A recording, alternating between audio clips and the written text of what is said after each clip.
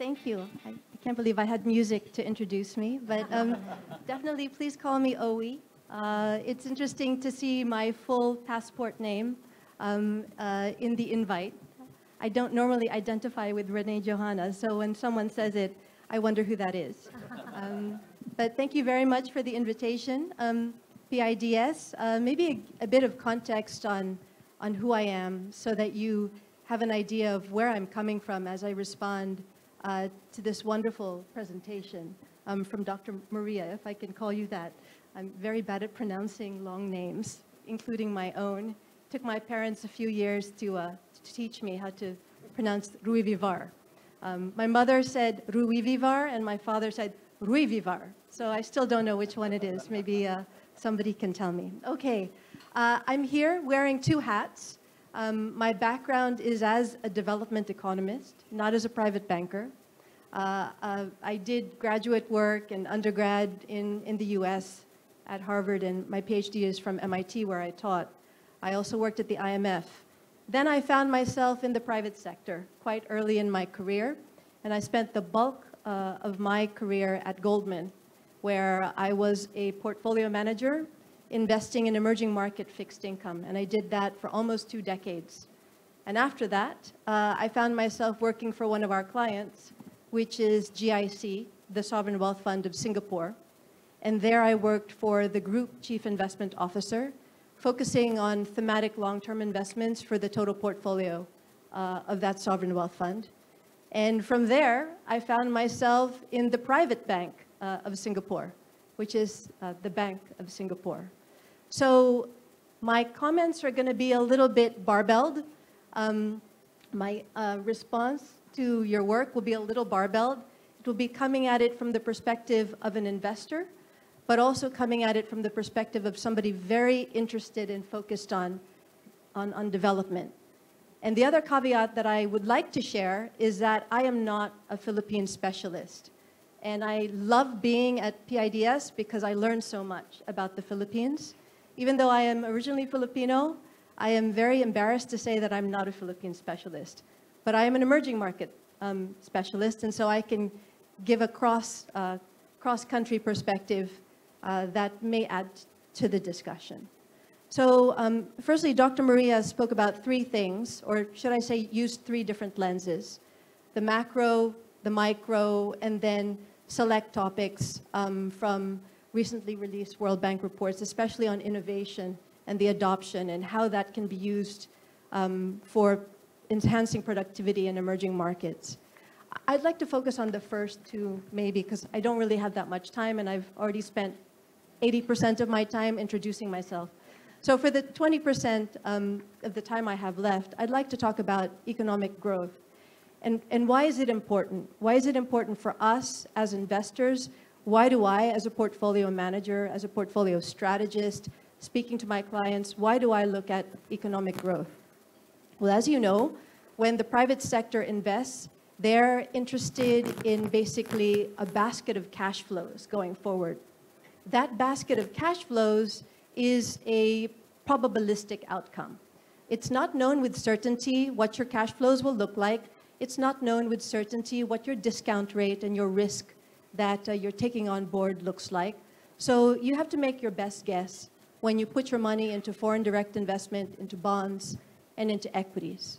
So from that perspective, an investor, say investing in public equities, because that's kind of the standard approach to getting exposure to the Philippines or to any other emerging market, will look to see, well, what is the prospect of the cash flow situation of earnings in any of these companies? And so they will look at a variety of different factors, all the way from top-down macro to kind of sector to more idiosyncratic. What does that company look like? What is its so-called moat and ability to maintain competitiveness as the market changes? But a big factor is the macro. And a big factor being macro means growth, me means real GDP growth relative to the developed world. And unfortunately, unfortunately, what we have seen, if you look at emerging markets in aggregate, is that the emerging market so-called growth premium, because emerging market countries have been growing at a faster clip than the developed world for a variety of reasons. They're further away from the technology frontier. There's greater scope for catch-up.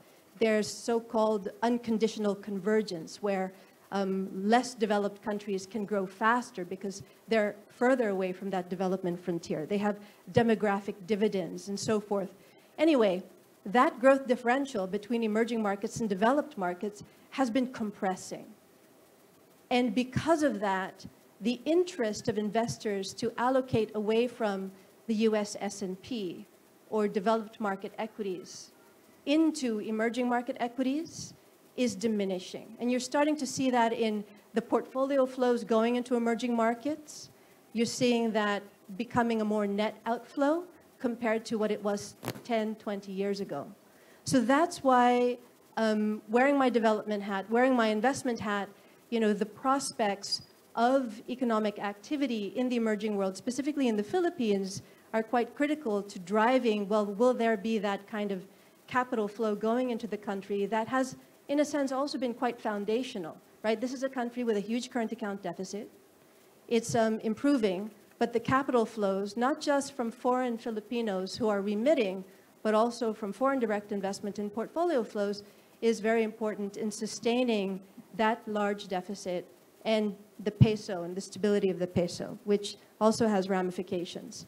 So when I think about real GDP in the Philippines, there's really one key area beyond AI, which everybody is you know, trying to contend with and trying to figure out how do you actually commercialize it, you know, what is the return on equity for, from the AI, um, the AI interest and the AI momentum.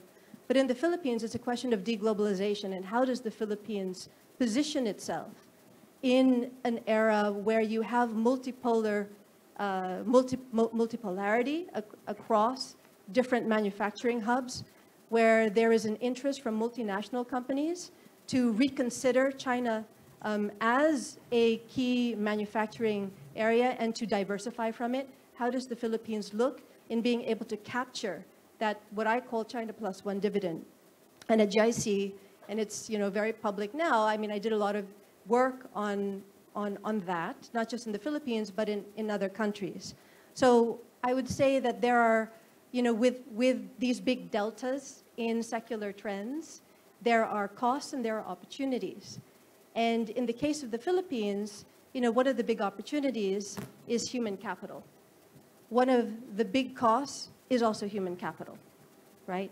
Um, as AI evolves and as there's greater adoption, the fact that the Philippines is, has had this competitive advantage because Filipinos can speak English better than the Queen's English, we now have AI which can take any accent and neutralize it, which can take any language and turn it into an international sounding English accent. So that competitive advantage is something that I think the country needs to, um, needs to grapple with and understand and use those kinds of AI tools for its advantage. So I've spoken already quite a bit, but I do want to say that, you know, that deglobalization trend, trying to, you know, I'd love to hear from the panel, um, from Dr. Maria, her views around how countries can lean into their competitive advantages, which the Philippines has many, how it can develop competitive advantages that are nascent, um, and how it can, you know, how a country can make sure that based on its natural endowments, whether it's people or resources, can be able to be as competitive as the Vietnam, the Malaysia, the Thailands, which frankly are getting a lot more of this China plus one diversification of multinationals than the Philippines.